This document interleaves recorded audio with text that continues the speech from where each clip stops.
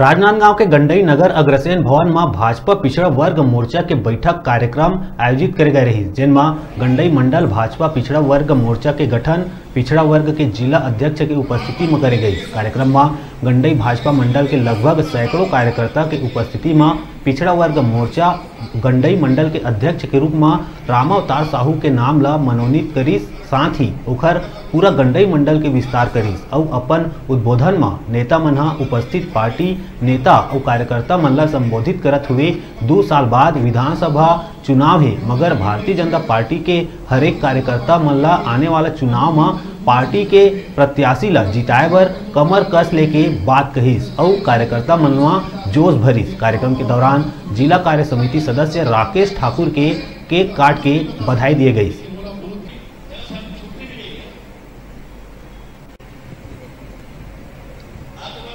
हमारे पूरे जिला भाजपा पिछड़ा वर्ग मोर्चा के पदाधिकारी गंडई, खैरागढ़, दो जगह पहुँचे थे। दोनों जगह जिला भाजपा पिछड़ा वर्ग मंडल गठन हुआ।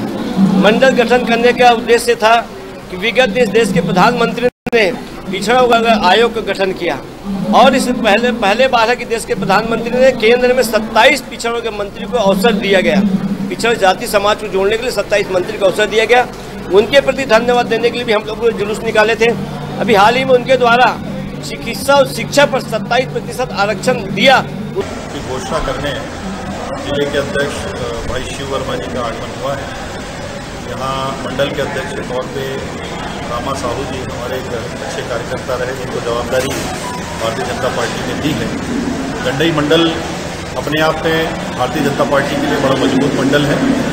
यहाँ सभी वरिष्ठ नेतागण और सभी भारतीय जनता पार्टी के कार्यकर्तागण मिलकर इस पूरे क्षेत्र को पिछले 15-20 वर्षों में भारतीय जनता पार्टी के लिए एक अवैध गढ़ बनाकर रखा है। रुका छोट कुन ब्रेक, ले पर ब्रेक के बाद फिर मिलबो तब तक देखा तरह न्यूज़ 36 छत्तीसगढ़ की आवाज़।